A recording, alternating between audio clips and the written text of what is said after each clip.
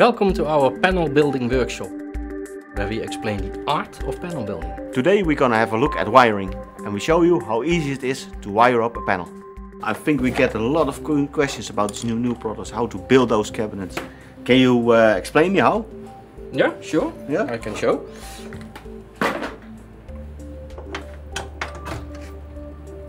How's it done? Because I see a power supply and a controller, so it's a control cabinet. This is the control cabinet, and what you see is already that we have all the same sizes of fields. Good, yeah. And what you also see is that all components mm-hmm. are more, minor or less, the same, Same size. size. I mm-hmm. mean, if you look at the sizes of these products, it can fit now in all kinds of fields that you need. Yeah. So one field fits all. Yeah. Oh, okay, So good. the design, you, you can make your process design much, much easier. Mm-hmm. Yeah.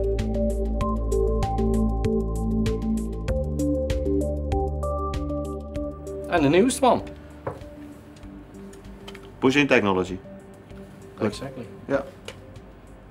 That's nice. Is it, easy, is it as easy as they say it is? It's quite easy. Let me show you if I make a wire for it. Yeah.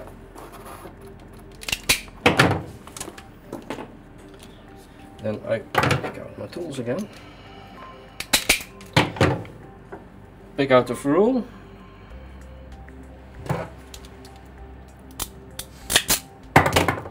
Please try René. Yeah, really super smooth.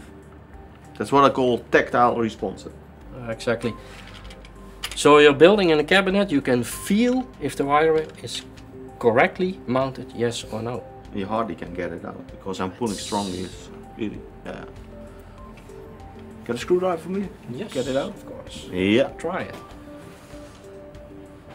I feel what the screwdriver is doing. Yeah. It is. And it sticks in, huh? yeah. doesn't fall out. Doesn't fall out, but watch.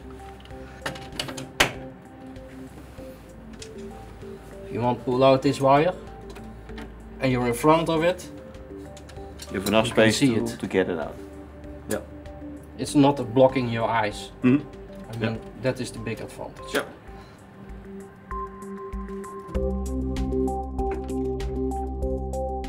Now I will show you the other cabinet.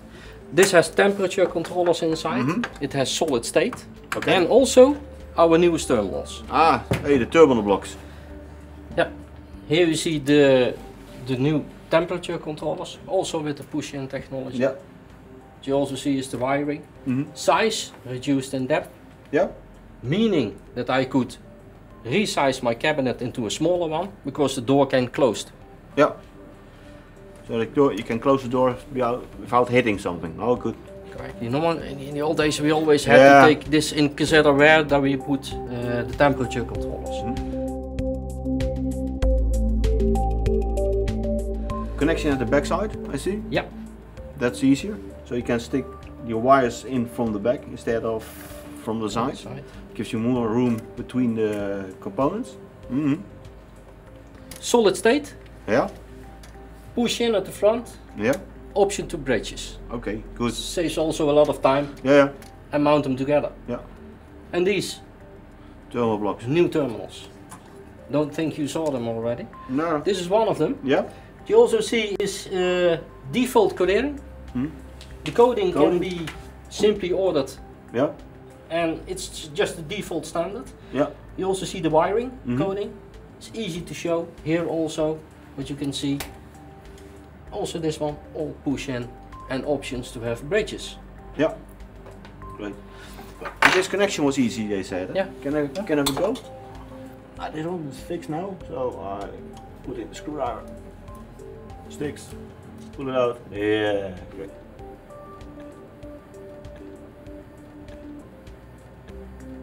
Yeah. Coding is good, readable. Actually, here also. hmm And also here you can visual, visualize how it is pushed in. Yeah. Is it correctly done or not? That's important because during commissioning you always want to know, hey, is it really good in there? No pulling of wires. Mhm. Very fast Yeah. this way. Nice. This one has an inverter inside. Yeah. So we have a lot of galvanic isolation here. Mhm. Um, what we here see here are our new relays. relay blocks. And have a look how small they are. Yeah, they're uh, they're considerably smaller than than the uh, previous one. They, were- they were quite bulky like this. Yeah, so the depth is considerably smaller. Yeah. Yeah.